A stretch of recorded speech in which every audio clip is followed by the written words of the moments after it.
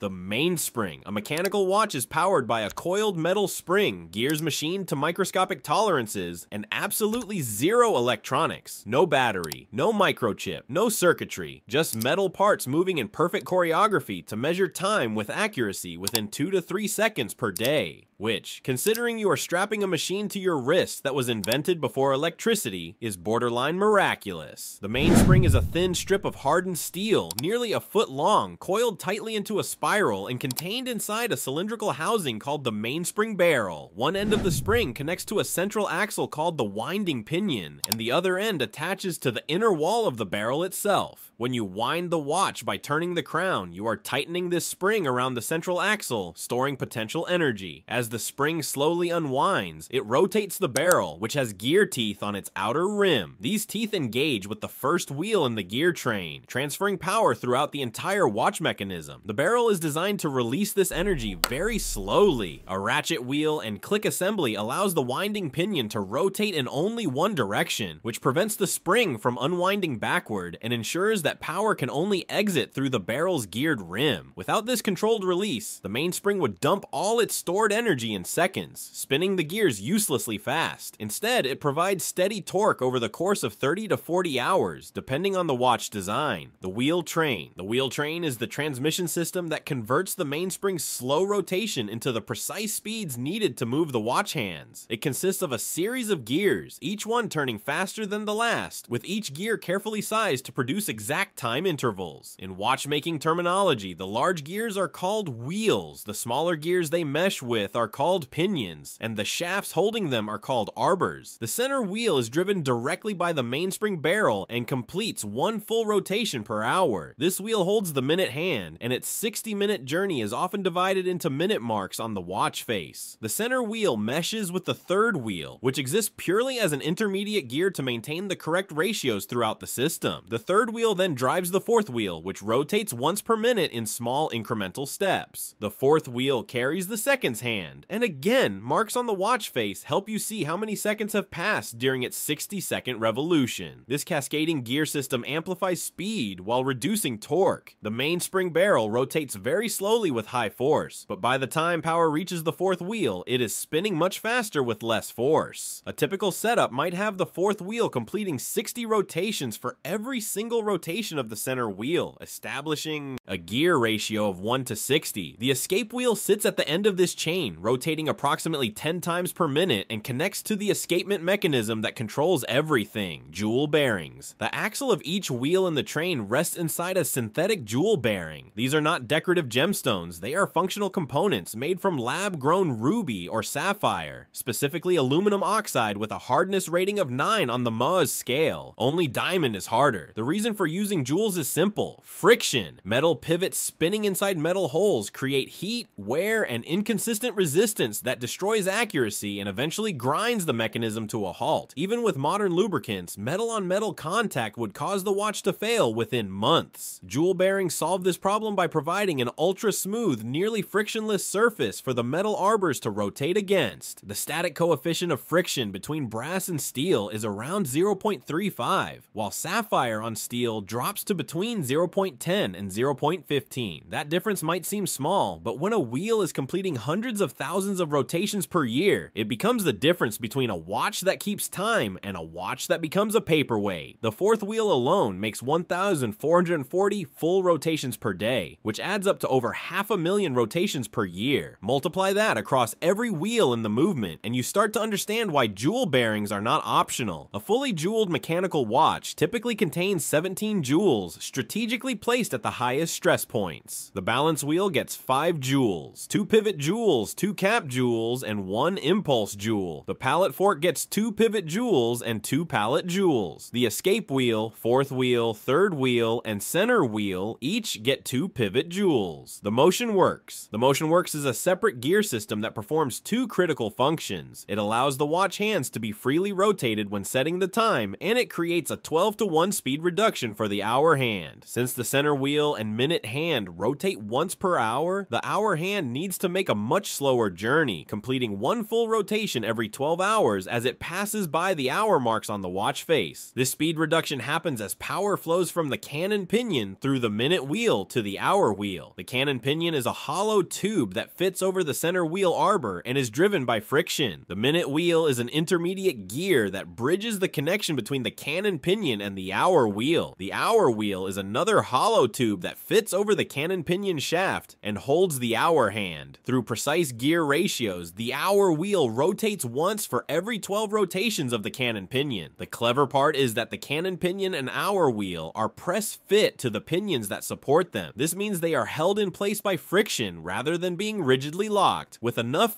force, they can slip and rotate independently without disturbing the underlying wheel train that drives them. When you pull the crown out to set the time, a mechanism called the keyless works and gauges. The setting lever clicks into an indent on the setting jumper, which then presses against a spring-loaded yoke. The yoke moves a sliding pinion into connection with the time-setting gears, allowing you to rotate the hands forward or backward without stopping the watch or damaging the gear train. The escapement and balance wheel. The escapement is where the actual timekeeping happens, and it is the most critical assembly in the entire watch. Its job is to release mainspring power in small metered increments while simultaneously keeping the balance wheel oscillating at a precise rhythm. Without the escapement, the mainspring would unwind completely in seconds, spinning the gears uselessly. With it, the watch ticks steadily for days. The balance wheel is a weighted metal ring that swings back and forth around its central axis, returned toward its center position by a spiral spring called the hairspring. One end of the hairspring is attached to the balance wheel, and the other is fixed to the watch frame. Together, the balance wheel and hairspring form a harmonic oscillator that naturally vibrates at a specific frequency, typically 18,000 to 28,800 beats per hour, which translates to 5 to 8 beats per second. This oscillation rate is remarkably consistent, resisting changes in amplitude and maintaining the same period even when the swing gets larger or smaller. The pallet fork and escape wheel form the escapement mechanism itself. The escape wheel is driven by the fourth wheel and has 15 specially shaped teeth. The pallet fork is a lever with two jewels called pallet stones positioned on either side. As the balance wheel swings, an impulse pin mounted on the balance wheel knocks the pallet fork back and forth. Each time the fork moves, one pallet jewel releases an escape wheel tooth from its locked position. The instant the tooth slips free, its specially angled shape delivers a tiny push of power from the mainspring through the pallet fork, which then pushes the impulse pin and launches the balance wheel into another swing. The crown and winding mechanism. The crown is the small knob on the side of the watch that controls both winding and time setting. When pushed in, the crown is in winding mode. When pulled out, it switches to time setting mode. The mechanism that makes this work is called the keyless works, a series of gears connected to the crown stem that change function depending on the crown position. The setting jumper is a spring-loaded component with two indents that lock the crown mechanism in place for each mode. When the crown is pushed in for winding, a gear called the sliding pinion meshes with a set of gears connected to the mainspring arbor. Turning the crown rotates these gears, which wind the mainspring tighter and tighter, storing energy. The ratchet wheel prevents backward rotation, so the spring stays wound until its energy is gradually released through the barrel. When the crown is pulled outward, the setting lever clicks into the second indent on the setting jumper. At the same time, this lever presses against the